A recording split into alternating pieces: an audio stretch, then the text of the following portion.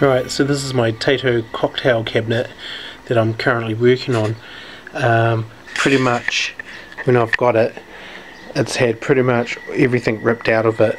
It's got its original screen, but no chassis to run it, um, or game board, or even power supply.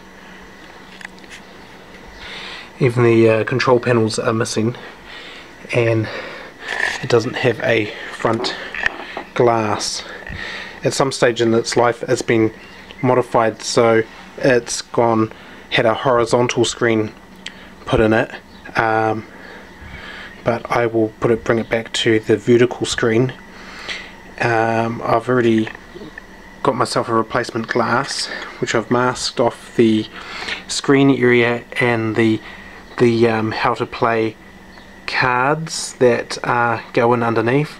So I will paint this screen uh, black and then where the stickers I've put on it when I peel them off they'll still be clear to see through for the screen and the two um, cards that can be slid under the glass.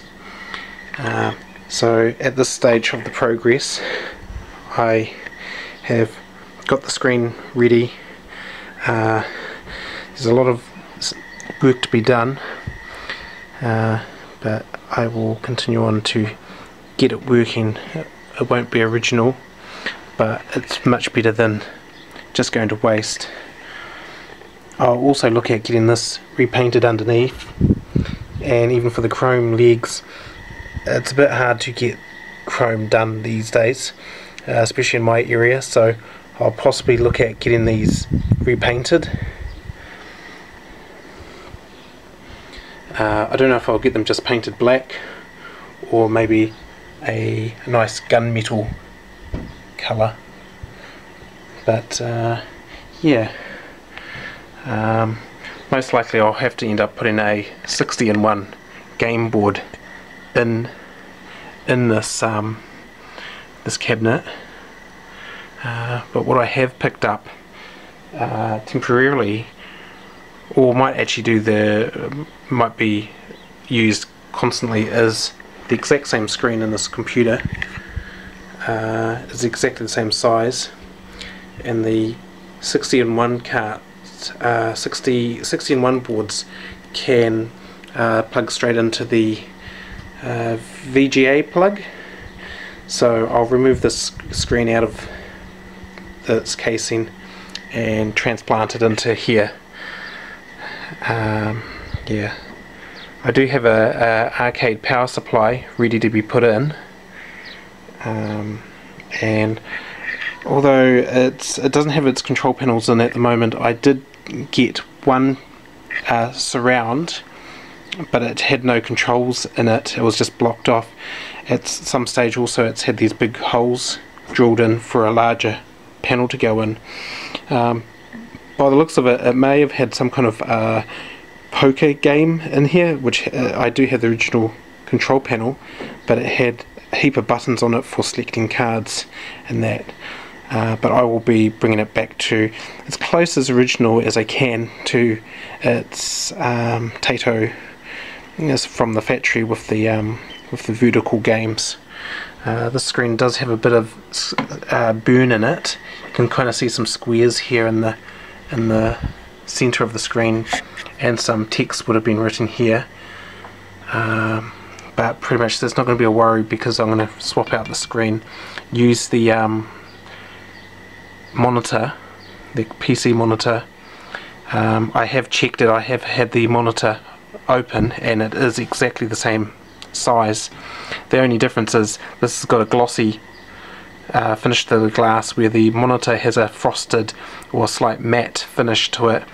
Um, again being in my area it's going to be really hard to find original parts. Uh, anything original's already been quite difficult to find. So it's pretty much find anything that is either really similar um, like the monitor screen um, or maybe making something to replace that but I do have as I say I do have a arcade unit power unit to go in here and a 60 in 1 board that I'll put in over here. Um, but yeah as you can see there's absolutely nothing to run this screen. Um, it's all been chucked by the previous owner. He said he was gonna pretty much was binning everything out of it and was gonna upgrade it or as they say upgrade to a flat screen. I don't really know if that's really a true upgrade. I'd much rather keep um, a CRT screen in all my arcade machines. But um, yeah so at this stage this is where I am at.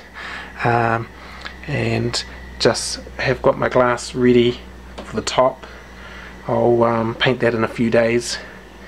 And then once we're through the Christmas holidays I will uh, undo the um, base and take it in to get uh, repainted. And then pretty much get the internals working and then I'll finish up getting this the control panels sorted out. Um, and I'll just have to see how I go.